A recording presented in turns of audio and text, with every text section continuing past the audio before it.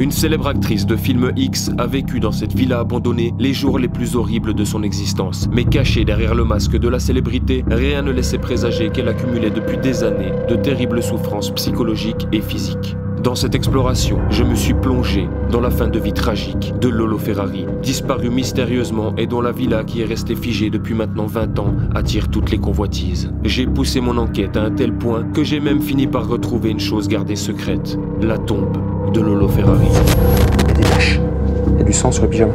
C'est des boîtes pleines de s*** et de partout. Qu'il est décédé ici, dans son lit. Oh mon dieu Et bonjour les amis, bienvenue dans cette nouvelle vidéo. Aujourd'hui on explore une maison qui me tenait à cœur de faire depuis longtemps. Suite au décès d'une célébrité, il s'agit de Lolo Ferrari, vous l'avez tous certainement connue, la fameuse dame à la poitrine 130F. Elle est décédée ici, elle a vécu les derniers instants de sa vie ici d'une manière totalement glauque. Je vous raconterai un peu toute l'histoire de sa vie. C'était une personne très tourmentée durant les dernières années de sa vie et elle a vécu euh, une triste histoire, une terrible histoire même. Penchons-nous un instant sur l'histoire de Lolo Ferrari, célébrité déchue des années 80 qui, parti de rien, verra sa carrière exploser du jour au lendemain. Née le 9 février 1963 à Clermont-Ferrand, Eve Valois de son vrai nom grandit dans une famille de quatre enfants, d'un père ingénieur et d'une mère professeur de sport. Pendant son adolescence, elle effectue quelques petits boulots, notamment dans le mannequinat et le cinéma. En 88, à l'âge de 25 ans, elle épouse Eric Vigne, âgé de 41 ans. Eve a toujours eu une grande admiration pour Amanda Lear, Brigitte Bardot et Marilyn Monroe, auxquelles elle voulait ressembler aussi bien sur le plan physique que sur leur façon de mener leur carrière de chanteuse et d'actrice. La recherche de célébrité et d'argent s'ajoutant à la motivation impérieuse de changer de physionomie, Eve, encouragée par son mari, subit pas moins de 25 opérations de chirurgie esthétique afin de devenir Lolo Ferrari. Lifting du visage, yeux redessinés trois fois, lèvres gonflées, nez retouché, tout y passera. Mais elle tient surtout à augmenter la taille de son tour de poitrine. Et après de nombreuses opérations, celui-ci fut porté à 180 cm avec des implants de presque 3 kg. Elle fut alors élue femme à la plus grosse poitrine du monde. On entre dans la maison. C'était une petite maison sympa, euh, vraiment style années 80, avec un petit salon, euh, le petit coin cheminée. C'était mignon comme petite maison, un petit canapé avec deux fauteuils. On peut s'imaginer qu'elle elle passait la plupart de ses soirées allongée ici. Elle avait jamais enlevé son, son sapin de Noël. Ah, c'est quoi ça? Il y a des tas de d'oiseaux morts. Il y en a partout. Ils ont dû tomber de la cheminée. Il y avait certainement un nid euh, dans la cheminée. Le vieux bouquet de fleurs. Ah, c'est des fausses, hein. ça fait 20 ans qu'elles sont là, c'est du plastique. Hein. Eric, I love you. Vous croyez que ça a été écrit par elle? C'était Eric Vigne, hein, son, son mari. Plein de... Ah, c'était toutes des photos. Ça a été pillé complet. Il en reste pas une. Alors c'est une maison euh, vraiment typique euh, années 80. Ah, Ceux-là, c'est quelqu'un qui les a posés là. Ils sont pas tombés comme ça. C'est une célébrité euh, très connue dans les années 80, 90 qui a mal fini, très très très très mal fini. On a, on a un Minitel. ça fait bizarre de voir ça. J'ai connu ça, hein, c'était l'ancêtre d'Internet. Il reste des lettres même pas ouvertes là. Eric Vigne. Elle n'a jamais été ouverte. Étonnamment, tous les papiers que je vois pour l'instant sont au nom de Monsieur Eric Vigne. Il n'y a, rien à son nom à elle. Je sais que c'est en partie lui qui gérait sa vie. C'est bizarre de ne pas trouver euh, de documents au nom de Lolo Ferrari. Mais tous les papiers qu'on trouve sont au nom de Eric Vigne. Donc euh, je sais en tout cas que c'est lui qui gérait en grande partie sa vie, parce qu'il avait des gros problèmes psychologiques, il était un petit peu dérangé. C'est lui qui lui donnait aussi un traitement médical euh, assez énervé à base de tranquillisants, pour ce qu'elle avait des grosses envies et des grosses tendances suicidaires. Je vois qu'il y a encore, un- il y a encore des fleurs ici euh, en plastique. C'est quoi ça? Oh, il y a quoi là?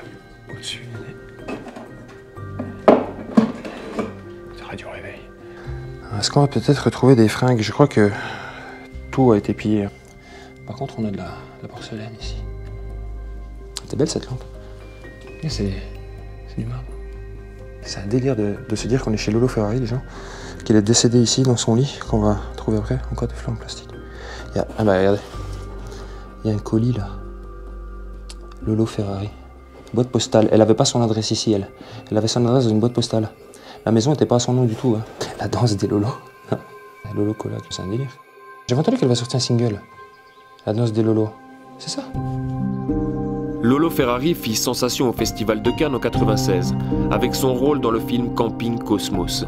Elle utilisa alors la formidable publicité que lui procurait sa poitrine pour obtenir un rôle régulier dans la série Eurotrash. Le battage médiatique mené autour de sa personne la menait ensuite vers d'autres programmes. Elle commença ainsi à se produire dans des cabarets de striptease pour y chanter et s'y déshabiller. Elle s'essaya ensuite au film érotique, puis se tourna rapidement vers la pornographie par appât du gain. Car Lolo Ferrari ne roulait pas sur l'or à cette époque, et vous verrez par la suite que malgré la célébrité, ça n'est pas prêt de changer. En effet, Lolo Ferrari se fera arnaquer par les producteurs, qui utiliseront les rushs pour faire des centaines de films X à son insu, sans qu'elle en touche le moindre sou. Preuve en est sa modeste villa, qui est très en deçà de ce qu'on pourrait s'imaginer être une villa de star. Après une carrière, disons, ratée dans le cinéma, Lolo Ferrari s'essaye à la chanson et signe avec Sony le titre Airbag Génération, dont le succès ne fut pas au rendez-vous, et ensuite le titre Set Me Free, qui à son tour est une déception totale au niveau des ventes. Elle tentera aussi de créer une marque de lingerie, Lolo Ferrari Underwear, mais la marque de voiture Ferrari demanda qu'elle n'utilise pas le même nom pour ne pas créer d'amalgame entre les deux enseignes. Réduite au statut de bête de foire, Lolo Ferrari devint alors, pour certains, la cible de médisances récurrentes, quand elle constituait pour d'autres un véritable objet de culte. Il y a encore des lettres de banque. Eric Vigne, et ça n'a pas été ouvert. La, la seule lettre au nom de Lolo Ferrari, c'est une boîte postale. hein. Elle habitait ici, mais euh, c'était vraiment la maison de Eric. Elle n'était pas à son nom, la baraque, du tout. hein. On va continuer de, visiter cette maison. Je vois qu'il y a des branchements faits à la sauvage. Est-ce que la maison aurait peut-être été squattée pendant un temps? C'est possible. Qui ça outille On a vu faire repasser et tout. Regardez là. Peut-être la serviette avec laquelle elle a pris sa dernière douche. Le, vieux kawaii euh, Audisport. C'est quoi ça? C'est un, pi- un pyjama? Ah, c'est son pyjama. Il y a des taches. Il y a du sang. Il y a du sang sur le pyjama. Il reste même sa valise, les gens, regardez. Et euh, les coussins, là, certainement pour les transats. Ça fait bizarre quand même de se retrouver euh, dans la maison d'une star, quoi. Il y a des médicaments. Il reste des médicaments.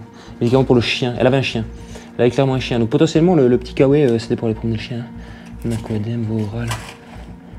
Je sais qu'elle prenait des traitements lourds, je pense qu'on les trouvera pas ici. Elle, elle prenait un, un traitement très lourd hein, justement pour, euh, pour la calmer, c'était à base de tranquillisants, pour lui enlever en fait euh, ses, ses pensées suicidaires. C'était un, un gros traitement à base d'ant- d'antidépresseurs et de tranquillisants pour juste éviter qu'elle se donne la mort.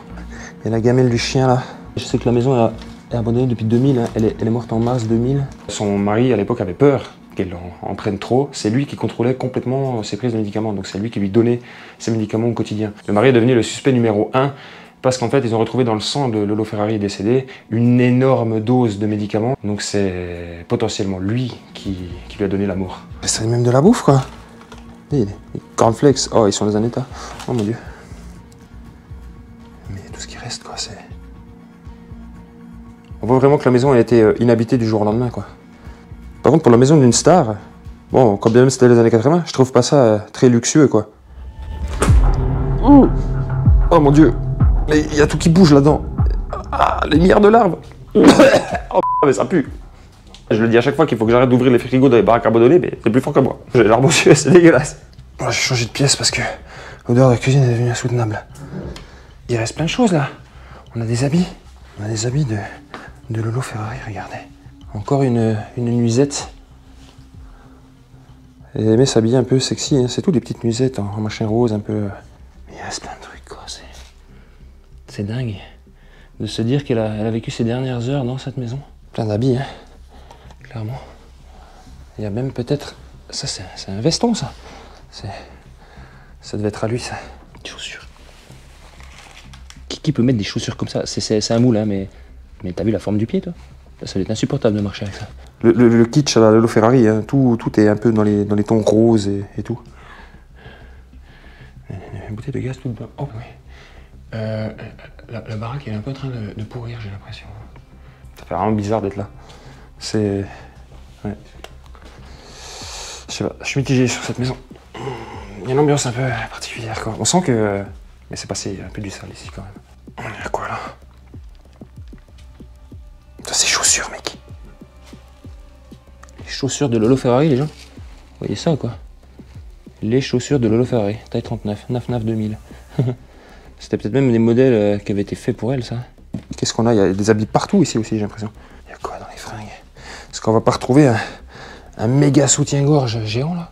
Ça serait tellement incroyable. Alors, on n'est pas là pour ça particulièrement, mais disons que ça serait un bonus quoi. Pour vous, dans la vidéo, ça peut être. Oh là là La petite culotte. Bah alors elle tient debout toute seule, hein. elle est d'un rigide. Ça devait être à Vigny ça. Euh, et des caleçons là. Sexy man. ah, il est sale en plus. il y a des sous-vêtements d'hommes de partout là. Là. Ah, heureusement que j'ai des... Je sais pourquoi je mets des gants. c'est pas où ça a traîné ça, on sait pas ce qui, est- ce qui reste dessus. Je voulais prendre la lampe UV un peu pour voir, mais si on trouvait pas des taches un peu suspectes, je l'ai oublié. Puis là, la penderie elle est pleine, j'avais pas vu. Des chaussures là, euh, plus des chaussures d'homme, ça, ça doit être celle de, des Rivigne. Pareil pour la veste là. Ça c'est, c'est habit d'homme ça. Une veste de pêcheur un peu. Le fila euh, d'époque de la France, man. Ça c'est collector limite quoi. Reste tout. Des petits machins à plumes, euh, un peu sexy je pense. Mais tout ce qui reste les amis, c'est- quoi ici Salle de bain? Les seringues? Sérieux? Oh mais c'est des kits prêts à injecter ça Lovenox Oh les capotes Ah, Capote de 2003 Ouais, le périmé en 2003, mais potentiellement elle est bien plus vieille que ça. C'est quoi ça Enoxaparine sodique. C'est pas un truc pour liquéfier le sang, ça Pour garder le sang euh, liquide euh, après des opérations lourdes. Ça reste là comme ça Moi je comprends pas que tout le passage qu'il y a eu ici, euh, que- qu'il y a encore des, des- des médicaments et tout, que ça n'avait pas, été- que ça avait pas été volé, c'est bizarre. Il reste plein de trucs. Il y en a, il y en a des boîtes pleines. hein. C'est des boîtes pleines de seringues. Il y en- il y en a partout. Il y en a partout. Des savons euh, pris dans tous les petits hôtels dans lesquels elle est allée. Les potes à la fraise. Et là, une, une capote de 97, quoi. Il y, a- il y a beaucoup de médocs hein, quand même qui restent. Oh, les ongles Non. Les faux ongles de Lolo Ferrari. Regardez. Ah, mais regarde, il reste même le, le- le- le vieil ongle de collé dessous, quoi. Ah, c'est dégueulasse. Touche pas ça. Ah, ça brosse à dents. C'est incroyable. Je n'avais- Les, les bigoudis Non Il reste les bigoudis Regardez faire les coiffures. Ah, j'ai gueule dans une tonne. Le, le fer à, à friser, pour le coup, celui-là, j'allais dire à lisser, non, c'est l'inverse, celui-là, c'est fer à friser. La baignoire était sympa euh, en ovale comme ça, c'est marrant, c'est pas courant. Avec le petit. euh, ça fait un peu château le robinet, et le petit euh, pommeau de douche euh, un peu kitsch, fifi, là. Vraiment. On voit vraiment qu'on était. bah, c'est une petite nénette, quoi. a, on a une étagère, une armoire dans la salle de bain qui est encore pleine de, de médocs là. Du Bristopen, je sais pas c'est quoi. Il y a du Nifluril. Des noms pas possibles. C'est quoi tous ces médocs? Il y en a des tonnes pas possibles. C'est que des médicaments. euh, C'est? Quoi Laxatif, si je prends ça, je meurs. Laxatif encore, mais qui, qui- Une boîte sur deux de médicaments, c'est du laxatif, que ce soit pour animaux ou pour être humain, je, je comprends pas. Déjà souffrante de sa lourde poitrine qui lui cause des problèmes de santé et l'empêche de dormir sur le dos ou sur le ventre, mais surtout à cause de ses nombreux échecs, Lolo Ferrari sombre dans une profonde dépression. Accro aux médicaments, elle tentera de se suicider des dizaines de fois, au point que son mari devait les cacher et lui donner son traitement afin qu'elle ne s'empoisonne pas volontairement. Les amis, on va aller voir là-haut, hein. je trouve que on a fini pour le rez-de-chaussée. J'aime bien cette tapisserie euh, rose, quoi. Vraiment, que t'es chez la, chez la Fifi, hein, vraiment. hein. Oula, c'est bien moisi, là. Il y a encore des médocs. Une armoire à pharmacie, là. mais il y en a partout. C'était... Faudrait après chez un médecin, quoi. Vraiment, oula.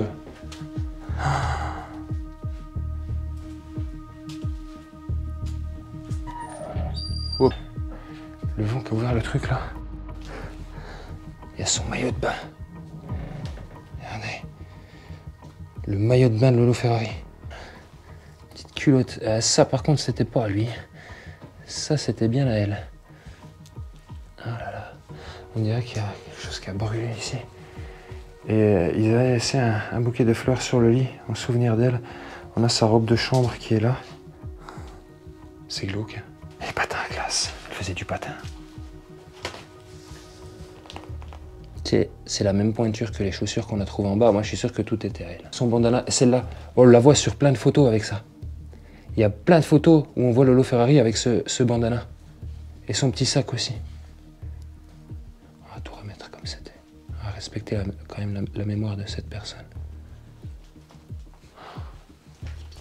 Elle adorait tout l'univers Barbie, tout ce qui était un peu rose, un peu fantasy et tout. Et les moon boots. Et elle aimait le ski. Oh, les chandails, il a encore tous les habits, les gens, regardez. Attendez, on va voir ça doucement. Regardez. Le petit chandail euh, rose, les, les peluches. Elle était, elle était fan de, de peluches. Il y en a un peu partout dans la maison. Il devait y avoir euh, certainement peut-être sa photo euh, qui a été volée ici. Et la caisse du chien. Ça- Elle devait avoir un tout petit chien, un, un genre de chihuahua ou, ou de choses comme ça. Et, et ce chariot, c'est bizarre parce que ça, c'est le genre de chariot qui est des fois utilisé pour porter des bouteilles d'oxygène. Donc, euh, Et qu'est-ce que t'as vu? C'est un t-shirt avec toutes les, les positions du Kama Sutra en fonction des, des signes astrologiques. Je suis averti ou conscient. Continue. C'est. L'ambiance est très spéciale dans cette chambre. On s'y pas très bien, j'ai envie de dire. On a un peu si on n'a pas d'autre. Ah, les capotes Et euh, celle-là, il y avait quelque chose dedans. Dégueulasse. Ça, ça, c'était sa chambre à elle. Non, celle-là, hein, qu'elle est décédée. Le matin du 5 mars 2000, Lolo Ferrari est retrouvée inanimée dans son lit à son domicile de Grasse. L'autopsie révéla qu'elle avait ingéré une forte dose de médicaments sans qu'on parvint immédiatement à déterminer si l'ingestion était volontaire ou contrainte. Selon son mari, Eve avait déjà réfléchi à son départ. Elle aurait rendu visite à une entreprise de pompes funèbres peu de temps avant sa mort pour organiser ses funérailles et aurait souhaité une tombe de couleur blanche pour être enterrée avec son ours en peluche favori, Winnie l'ourson. Son mari est arrêté peu de temps après, car sa version des faits parut manquer de cohérence aux yeux des enquêteurs, qui mirent en avant le fait qu'au moment de son décès, les médicaments n'étaient toujours pas passés dans le sang et n'avaient pas encore agi, ajoutant que son corps portait des traces de tentatives d'étouffement et de strangulation. Un voisin aurait même témoigné avoir vu la star rentrer chez elle vers 9h du matin, le jour où elle a été retrouvée morte, mettant en doute le témoignage du mari. Néanmoins, le 20 février 2007, une ordonnance de non-lieu fut rendue en faveur d'Éric Vigne, qui demanda et obtenu des dommages et intérêts pour son arrestation. Moi, c'est kitsch. hein. On a le petit tapis rose là. Plein de chaussures, regardez. Plein de chaussures un peu comme des, chaussures de ballerine, de danseuse. L'immense miroir qu'elle avait pour se contempler. Oh, c'est bien indiqué tout ça. La petite table de chevet avec le, réveil et la petite lampe. Et le lit, pareil, avec euh, une couronne de fleurs qui a été mise en son souvenir. C'est dans celui-là qu'elle est décédée. Ça fait vraiment bizarre en tout cas. Et oui, là on retrouve aussi, euh, pareil, les, les mêmes chaussures qu'en bas. Avec les semelles ultra compensées, mais de genre 15 cm quoi. Se dire que Lolo Ferrari avait ses pieds là-dedans. Je suis pas un fan d'elle hein, du tout, mais ça reste une célébrité quoi. C'est pas tous les jours qu'on tombe dans la maison abandonnée d'une célébrité. Les gens, regardez ce que je viens de trouver là sur le mur. Rentrée à 8 heures, dernier délai, sinon divorce. Rentrée au féminin. C'est son mari qui a écrit ça, c'est Eric Vigne qui a écrit ça. Il l'a menacée de divorcer si elle ne rentrait pas. Il faut savoir que Lolo Ferrari était assez euh, papillonneuse comme femme et avait pour habitude de le tromper son mari. Et, c'est ça qui me fait douter euh, du fait que bah, elles sont mortes par accident. Regardez, on a aussi là un, un bouquet de, de fleurs en papier crépon. Et regardez, là, on a des papiers qui parlent de voitures de collection. Je sais que Eric Vigne faisait de l'importation de véhicules. C'était un peu son, son gagne-pain. En plus de faire travailler sa femme dans des clubs échangistes et, d'essayer un peu de vendre son corps. On est vraiment dans la, baraque d'une bimbo. hein. Tout est kitsch au possible, jusqu'au papier peint, quoi. Même la, la literie, hein, c'est du kitsch à souhait. hein. Tous ces trucs roses à flanelle et tout. Le, petit tapis rose euh, en, truc euh, tout touffu, là. C'est vraiment euh, la maison de, de, de, de petite nénette, quoi, clairement. Elle était connue pour ça, hein, c'est ce qui a, c'est ce qui l'a fait connaître d'ailleurs, le, le fait de, de- de devenir euh, l'énorme bimbo qu'elle a été, de se transformer en ça. Elle avait un petit rêve un peu secret de se transformer en une espèce de Barbie. Jusqu'à des implants de plus de 3 kilos, donc un 130F, qui était juste gigantesque. Même encore un petit, euh, une petite nuisette. Elle avait la taille fine, hein, mine de rien. hein, euh, par contre, euh, tout était en haut, quoi, clairement. Putain, et la suite. Oh, la gueule de la porte, l'état de, de moisissure, quoi. Elle est complètement en train de se faire bouffer, la maison. C'est juste un WC ici. euh. Pareil, il nous reste une. Je pense pour le soir, pour la nuit. Qu'est-ce qu'on a? Là Eh, ça, ça parle encore de voitures, hein, de, de vieilles voitures de collection. C'est un fan, monsieur Vignat. Oula, je vais pas, je vais pas marcher là en fait. Parce que c'est l'isolation et je vois, je sais pas ce qu'il y a en dessous. Regardez, on a, on a un vieux téléphone Ericsson. C'est juste un granier vide en fait qui n'a jamais été utilisé. Il a été isolé et Et c'est tout, ils n'en ont rien fait. Ouais, sacrée ambiance dans cette maison, les amis. C'est bizarre, quoi. Je vais quand même vous montrer un petit peu l'extérieur de, cette maison. Elle paye pas de mine de l'extérieur. hein. C'est vraiment une petite maisonnette euh, assez classique. Il y avait une chier de terrain. Il y a le portail là-bas qui était à la base d'entrée principale, hein, avec l'allée ici qui venait jusque-là. La maison était très simple, hein, en fait. C'était pas un gros truc. Je vois qu'il y a une autre. Je vois qu'il y a une autre maison à côté, dans le jardin. C'est un garage. Il y a voiture. Regardez. On a la BMW d'Eric Vigne ici. Et celle-là, je la reconnais bien, la décapotable. Je l'ai vue dans plein de journaux, cette baraque, cette bagnole. Mais lui n'est pas mort pourtant. Il a laissé sa voiture. Quoi dans l'autre partie? C'est un, c'est un atelier. C'est dit qu'il devait certainement être euh, un, un petit peu bricoleur, euh, monsieur Vigne, vu ce que je vois là. On a, on a plein de trucs euh, pour bricoler euh, dans la maison, quoi. Et là, on a donc euh, ce, ce petit cabanon de, de jardin qui faisait garage. Ici, il y avait tous les transats. Regardez le nombre de chaiselons qu'il y avait. C'est un délire. Et juste là, la piscine. Alors, je vais essayer de vous la montrer, mais je vois qu'elle est éclatée. Et c'est une jungle, hein, c'est à l'abandon depuis 20 ans, quoi. C'est compliqué. Là, vous aviez la piscine, juste en dessous. Elle est énorme, cette piscine. J'ai jamais vu une, piscine euh, de résidence, enfin une piscine de, villa aussi profonde, quoi, aussi grande. Elle est, vraiment immense, hein, ça va loin là-bas. Alors, est-ce qu'Éric Vigne a bel et bien tué sa femme Lolo Ferrari? Personnellement, je ne pense pas, car elle était comme une poule aux œufs d'or pour lui. Mais additionner l'effet des médicaments à des problèmes respiratoires persistants, des troubles psychiques et des envies suicidaires, et vous avez le cocktail parfait pour vous donner la mort. Malgré tout, la mort de Lolo Ferrari reste un mystère, tout comme l'endroit où repose son corps. Enfin, pas tout à fait. Sur ce dernier point, il m'a fallu de nombreuses recherches et surtout ne pas me fier à ce qu'on peut lire, car tout a été gardé secret dans le but d'éviter les fétichistes et éventuels pilleurs de tombes, et tout ce qui a été publié l'a été dans le but de brouiller les pistes. Mais en interrogeant les locaux et après de nombreuses recherches, j'ai fini par la retrouver. La tombe de Lolo Ferrari. Elle est enterrée dans un cimetière de Grasse, dans une case blanche perdue au milieu de dizaines d'enfeux. Ces tombeaux hors sol typiques du sud de la France. La dalle de Lolo Ferrari ne comporte ni nom ni date. De fausses orchidées et des roses en plastique ont été posées il y a bien longtemps, à en juger par leur état et la poussière qui les recouvre. Alors on va rendre un, un dernier hommage à Lolo Ferrari. Nous sommes actuellement devant son tombeau. Ça a été une galère pour le trouver, on n'avait aucune indication, c'est-à-dire que sa tombe ne comporte pas de nom, c'est juste une tombe blanche, avec simplement un bouquet de fausses orchidées et un autre bouquet de fausses roses posés dessus. Donc la voici. Lolo Ferrari repose ici depuis son, inhumation. Donc elle aurait souhaité se faire incinérer et ça n'a pas été respecté. Ils l'ont enterrée euh, entière ici.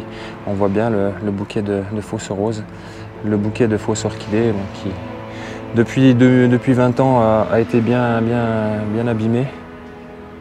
Mais voilà où repose en paix, je l'espère, la petite Lolo Ferrari.